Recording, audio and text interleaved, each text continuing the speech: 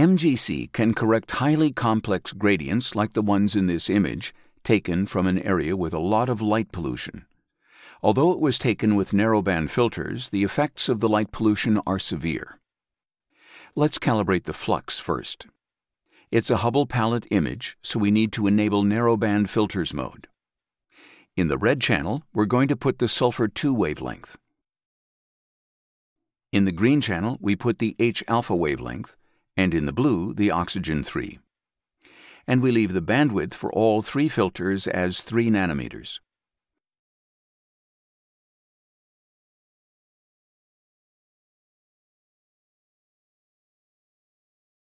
Now we're going to correct the gradients using MGC.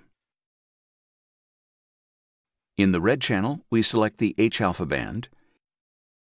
In the green, H-alpha 2, and in the blue, we select oxygen 3. Now we uncheck the Show Gradient Model box and apply the process with the default settings.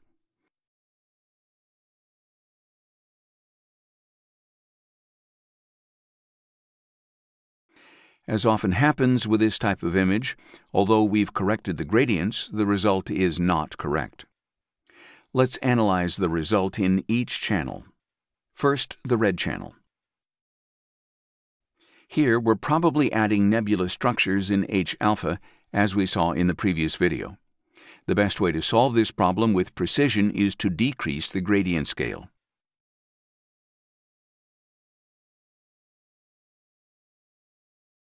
At this scale, it's clear that we're adding signal from the large structures in the H-alpha emission. So let's decrease the scale factor until it stops affecting the nebula.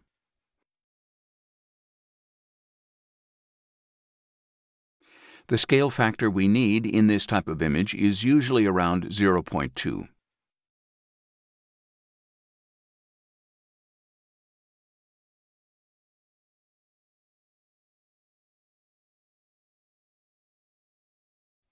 Let's move on to the green channel. Here we have some overcorrection. We can try to improve this by looking at the gradient model, but for now we're going to keep this option disabled. As there's some overcorrection, we're going to increase the scale factor.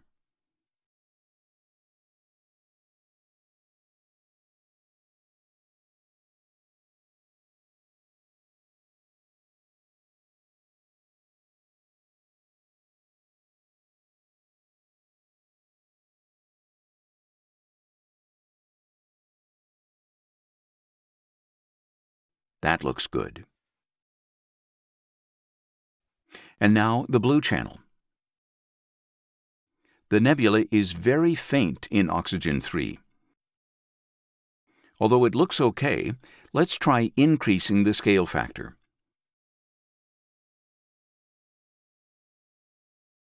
In this case, we only need to find an approximate value because of the very weak signal in this nebula.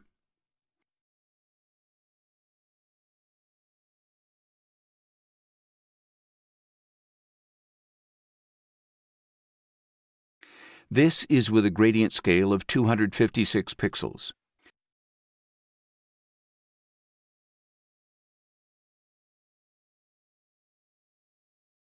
We need a very small scale to be able to correct the gradients in this image. If we use MGC's default scale of 1024 pixels, we won't be able to correct the gradients properly.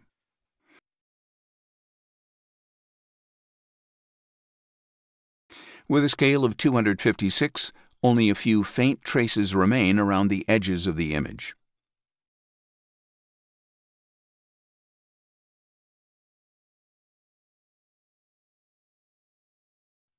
Here's another example, and this is an extreme case. This is a broadband image with a lot of light pollution. The flats haven't worked well at all, and dust motes have been left behind. Let's calibrate the flux first. It's a color sensor, so we'll use the default settings.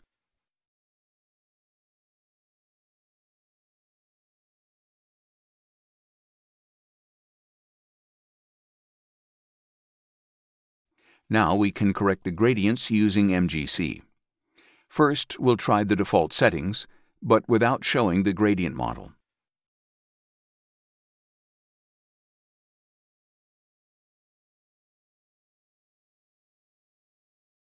As you can see, these gradients are very aggressive and complex.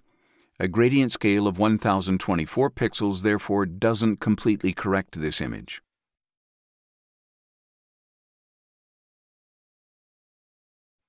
We're going to try something that we don't generally advise, using the lowest possible gradient scale of 128 pixels.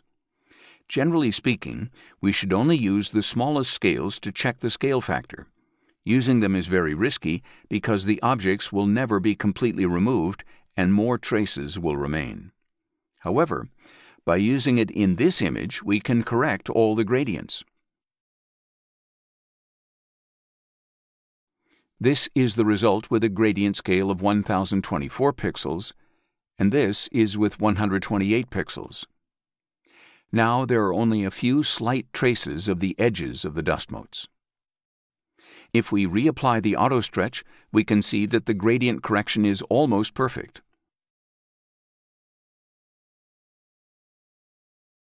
Correcting the gradients with such a small scale is very risky, so we're going to try to minimize the traces of the galaxy. If we show the gradient model, we can see that there are quite a few traces. Let's analyze it channel by channel. In the red channel, at 1.3, the nucleus starts to appear inverted. 1.2 could be a good compromise. Let's move on to the green channel.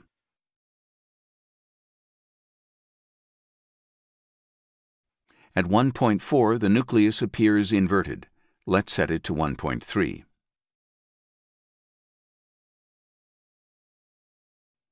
And in the blue channel, we also need to increase the scale factor.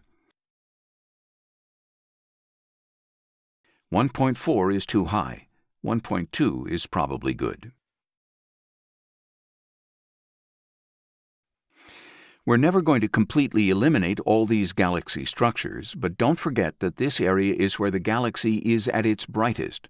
Proportionally, these traces therefore only represent a very small percentage of that brightness.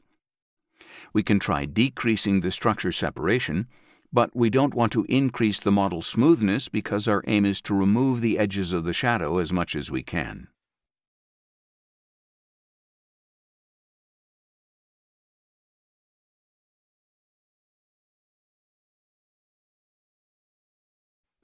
If we apply this correction now, there is barely any negative effect on the galaxy, but we've managed to eliminate these complex gradients.